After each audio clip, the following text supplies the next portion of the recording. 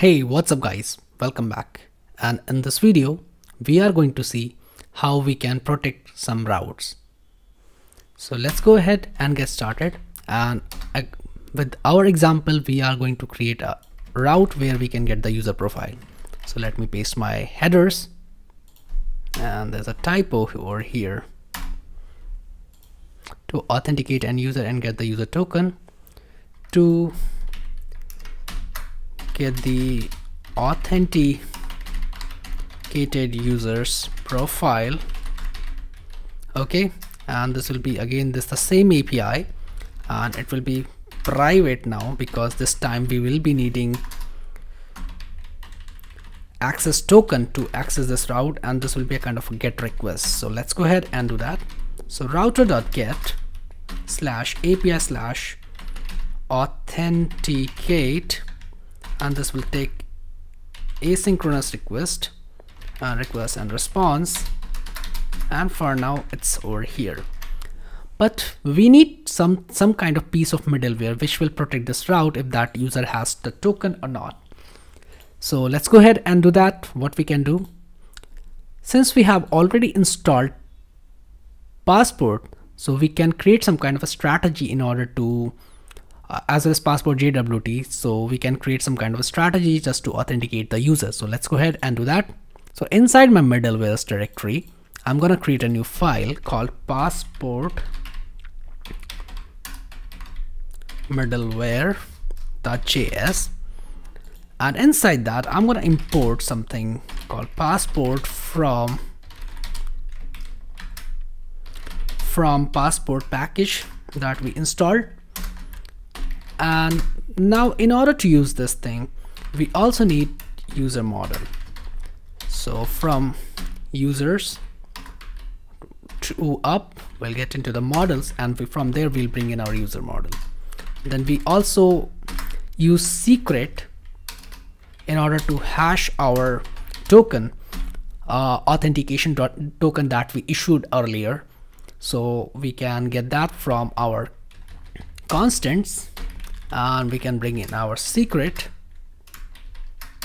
as secret or key. Okay? So this is these are the three things. Then last but not the least I will be importing some of the functions from our passport JWT package that also we installed. So passport JWT and first one will be strategy because we are going to define our login strategy over here and the second thing is extract JWT function from these two things. Then we are going to define an option equal to secret or key as well as extract JWT from request. This will be a kind of function. So we'll use that function extract JWT dot from auth header as a bearer token. So remember when we were issuing the token over here inside generate JWT, we were simply sending our token from here and at the end where we were returning that token to the user, we were appending bearer at the at the front. So you can see bearer token. So this is a kind of a strategy that we have and now we can remove that so passport dot use and inside this function. I'm gonna define my strategy. So new strategy. Strategy and this will take my options that we have just created over here. And inside that options we will it will decode our token and it will pull in our ID from there so once we are done with that we'll give second argument as a done. So now here we can directly access our id and with the help of id we can get the authenticated user. So we are gonna put that in a try and catch block. Okay? So we'll simply say let user is equal to await user dot find by id function and we can directly pass that user over there. Okay? So if there is a user if there's not a user then in that case we'll simply return actually we'll throw new error object user not found we simply say that. And that will catch over here and in this done callback we'll return false uh, null with a false. But if there is a user then we will simply return something else. So we'll return done with a null and not nuck.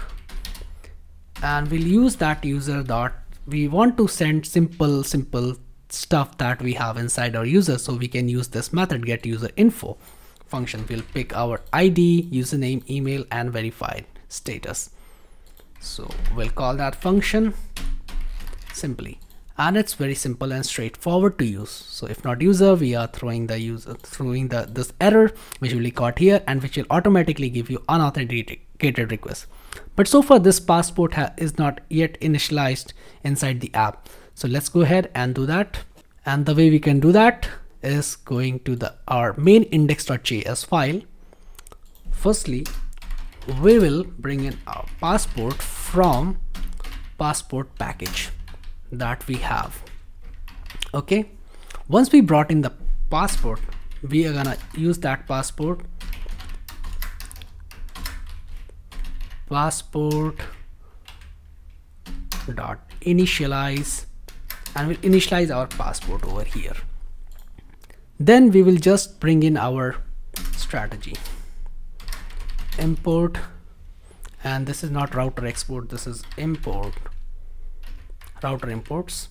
Import passport middleware. And we can simply require it from our middleware slash passport middleware.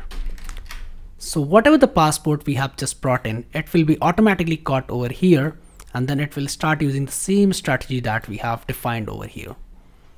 So now this is one thing one piece of code. Now th there's another thing. How do we know that this pass this route is protected? How we are going to still inject that over here? So it's very simple we'll bring in passport. From passport. Package. And let me write at the bottom. For now later I'll arrange them.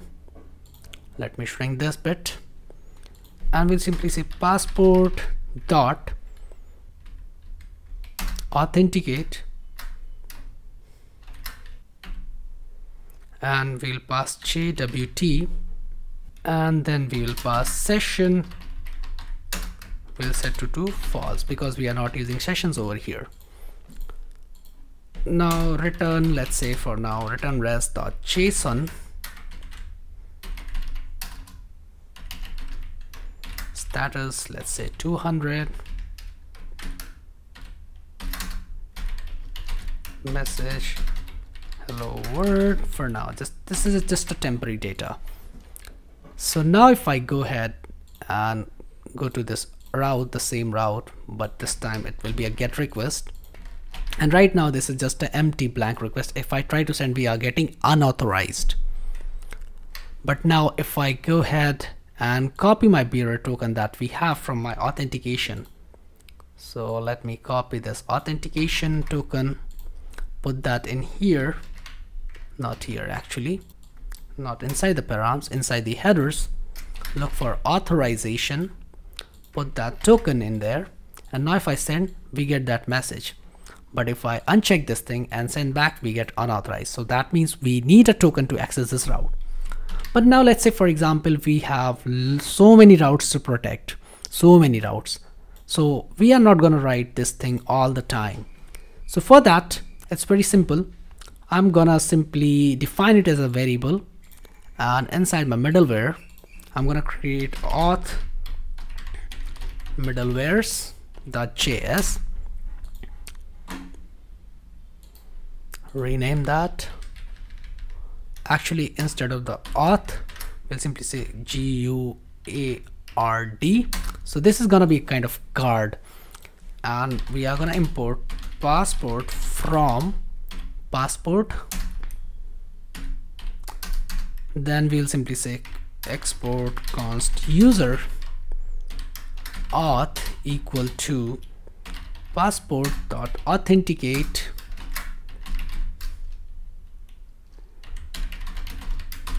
And with the scheme of JWT session set it to false. So this is our scheme that we are exporting from here and now we can directly inside our main users file instead of importing it over here and writing like this we can import our user auth. So we can simply say from two up actually one up we'll go to our middlewares slash auth guard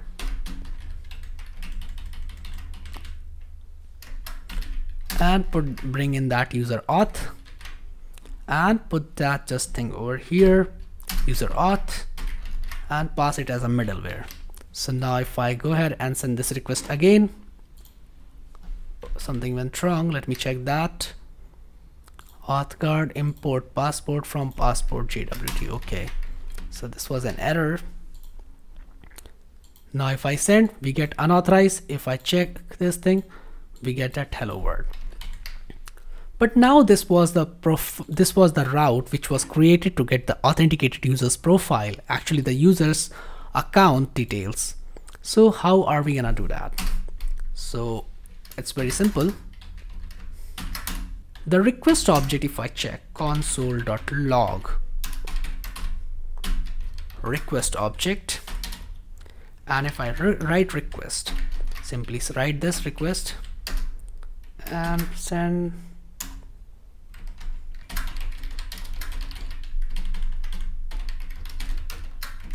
okay? Simply. And now if I send this request. We get this hello world but if I come to my terminal over here this request object also adds this user ID so everything is in here. So what is happening behind the scene? So the thing is what is happening behind the scene. Inside this passport middleware once our request passes through this it gets our request user if not, then it will simply throw that the user out whole request. It will forbid this whole request from here. Otherwise, we are simply appending that user inside that request object. So that's how it is working. And now we can directly have that access to the user, authenticated user. So simply we can simply say user equal to request dot user. So this will give the authenticated user. So now if I send this, we'll get that user over there. So it's pretty straightforward. Nothing uh, nothing very fancy going on here. So that's how we did that.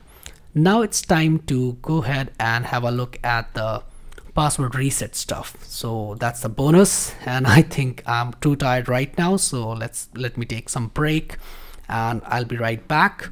I hope see you guys in the next video. Thank you guys